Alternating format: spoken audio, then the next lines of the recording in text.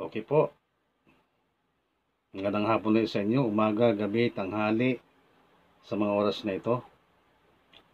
Ang aking pong ibabahagi ngayon sa oras na ito sa inyo ay ito po tungkol naman po sa mga halaman na gamot na kung saan ay tumutubo yan sa minsan sa ah, malapit sa bahay natin no ang gamot nito ay marami ring ah, ano maraming sakit ang pwedeng pagalingin nito. Ang ah, halaman nito ay tinatawag na banaba no? Banaba. Oh. halaman na banaba. Yan yan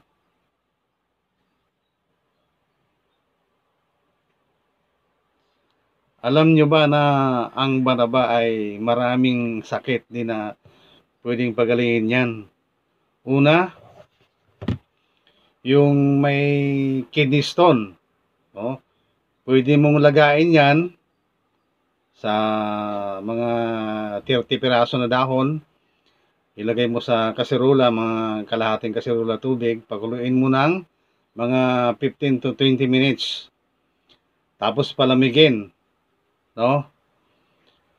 At ah, inumin mo bago ka kumain ng almusal at saka bago hapunan sa gabi. Ah, yung hirap umihi, no? Yung sakit sa kidney. Panglinis ng kidney po 'yan. Oh, so yung hirap umihi, ah, yung may kidney stone, at ah, marami pang iba. Ah, hindi lang yan, pati diabetes. Pinapagaling niyan ng banaba. Ah, maraming benepisyo sa katawan niyan. At ah, may kilala ako na may kidney stone. Yan lang pong ininom niya ng banaba, nilagang bana, dahon ng banaba. Umaga at saka gabi siya uminom bago kumain. So ano lang, mga wala pang ah, isang buwan nagsilabasan yung mga bato sa kanyang kasama sa ihi. So magaling po, magaling po yung banaba na yan. Ah, kidney stone, inaalis yan. Yung hirap umihi, ah, yung may diabetes, no? Yan. Pagagalingin yan ng banaba na yan. Magaling po yan. Ah, dati po kasi yan po ang iniinom ko. Naglalaga pa ako ng ganyan. Kaya subuko na po yan, yung banaba na yan. Sa probinsya pa, ah, ginagawa ko na po yan. So yung hirap umihi, may kidney stone, may diabetes, marami rin pong dala yan. Yan, subukan nyo po ang dahon ng banaba ilaga nyo. Kalahating kasirula, mga 30 piraso na dahon, pakuluan mo 15 to 20 minutes. Tapos palamigin. Inumin mo bago kumain sa umaga isang baso. Sa gabi naman bago kumain, inumin mo isang baso din.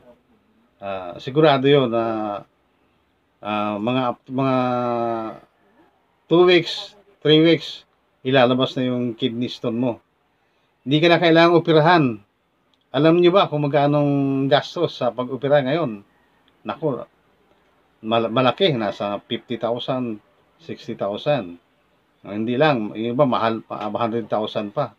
Para lang makuha yung kidney, ay yung bato sa kidney niya.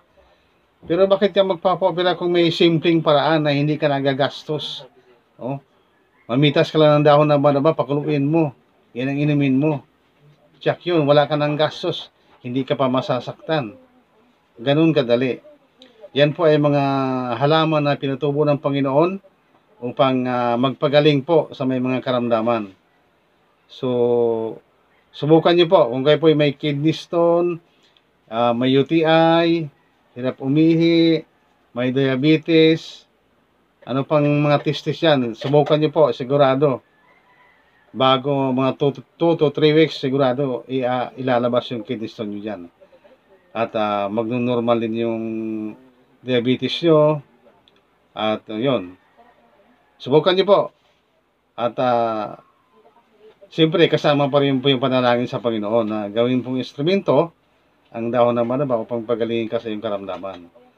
Siyempre, pananalig sa Diyos, kasama yon panalangin. Yun lang, ah, maraming salamat po. Huwag niyo pong kalimutan mag-subscribe sa aking channel na ito para updated ka sa mga iba pang mga video sa aking i-upload. Maraming salamat po sa inyo. Pagpalain tayong lahat. Diyawi Saday.